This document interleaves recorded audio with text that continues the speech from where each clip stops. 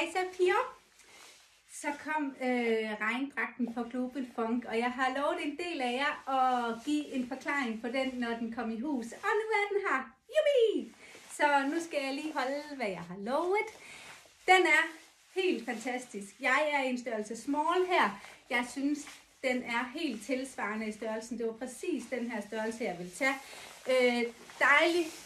Man kan bevæge sig i den helt fuldstændig blødt, lækkert øh, regnstof her at have på. Der er lufthul her om ved ryggen.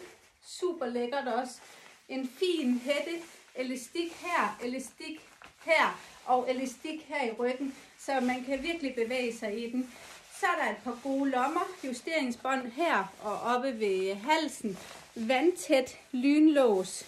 Øhm, den er bare perfekt og, og findes i flere farver også. 还有没有？